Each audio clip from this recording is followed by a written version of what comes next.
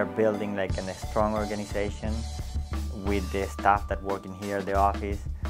Um, we are trying to get closer to the community, be like a friendly organization, be uh, an organization that everybody can be part of and feel like this is my team, this is my, uh, my soccer team and I'm gonna support. Our organization is uh, set up like an open practice day where you know the community is invited out to come out, hang out with us. You know we're gonna play with everybody, and so I think we're gonna have programs like that going all season. So looking forward to it. Well, the good thing about us is that we have a lot of uh, talented young players that um, you know it's a good mix with uh, older players that have experience, international experience and uh, professional experience, and you know that mix I think is gonna be seen in the field, and I think the community can really, you know, um, feel attached to, to that style of soccer we're gonna play.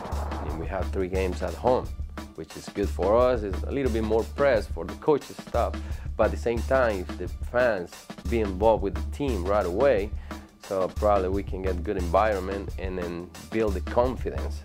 Bueno, una, primero una gran entrega, un buen fútbol. Eh, obviamente por eso hemos, hemos traído jugadores que saben jugar bien al fútbol, eh, que demos buenos resultados, eh, un equipo con una mentalidad ganadora y lo más importante aquí, ¿no? ser triunfadores y que tengan esa mentalidad y que jueguen bien al fútbol. So I think it's combination fans and uh, players. We're gonna prepare the team during the week and during the game it's more like players connection with the fans. Well, I wasn't here when they had the season before, when they had a franchise, but I expect them to welcome us with open arms and just enjoy the game. We're gonna grow. We're gonna.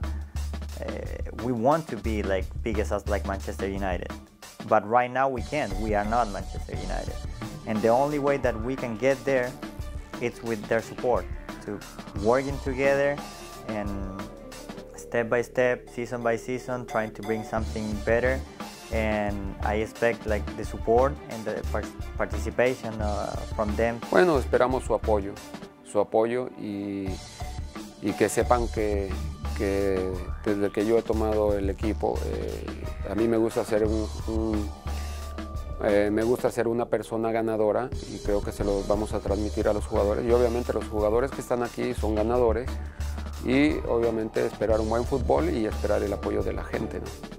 Uh, if you look at who are in charge of the team, they're all winners.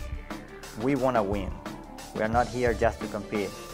We have some limitations, but we don't have excuses. We are here to win, and we're gonna push for that. We're gonna use all our resources to do that, and and this is like our commitment.